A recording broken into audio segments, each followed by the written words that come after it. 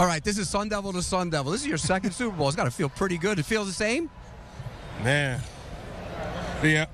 They, they, they all feel great, man. You can't can't take this for granted.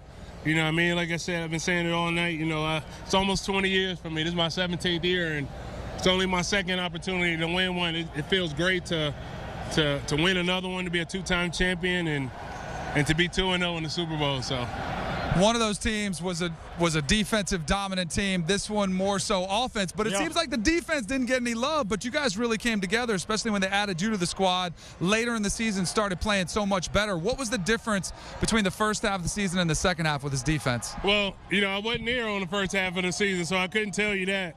Uh, but it just seemed like, you know, when I joined the team, I joined a team that was already rolling. You know, they had the momentum, and um, you know, we don't really care who get the, the credit. We care more about winning, and uh, we just wanted to do our job and do our part. We know uh, our offense is special. We know we have a very explosive offense, and we got a, a, a very special guy on the center.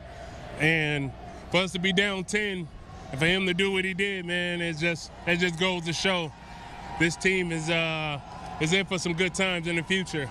But enjoy the night, though. You've been around this league for a long time, like you said.